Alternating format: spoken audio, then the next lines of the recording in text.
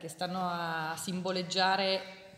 l'attenzione dell'amministrazione, ma di una città intera, perché poi no, dalle associazioni, dai quartieri stanno arrivando le richieste di poter posizionare le panchine rosse.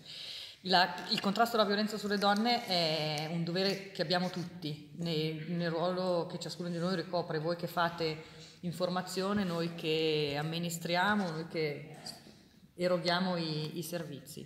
Eh, siccome il contrasto alla violenza sulle donne mh, si celebra il 25 di novembre, ma è azione quotidiana, eh, abbiamo pensato di coinvolgere l'intero Consiglio Comunale lunedì sera alle 20.15. Eh, abbiamo invitato tutti i consiglieri ad essere presenti perché ci sarà un momento di ehm, incontro e di confronto con tre attori che abbiamo ritenuto essere i più qualificati per informare e aggiornare il Consiglio Comunale sulle azioni in, in, campo per la prevenzione e il contrasto della violenza sulle donne, ma anche perché ci facciano qualche proposta e richiesta di quello che servirà a fare, perché poi il Consiglio Comunale, che è l'organismo che dà l'indirizzo alla Giunta, possa essere protagonista. Eh, ci saranno degli incontri di approfondimento nella Commissione Consigliare Terza, presieduta da Franco Brenna, che è la Commissione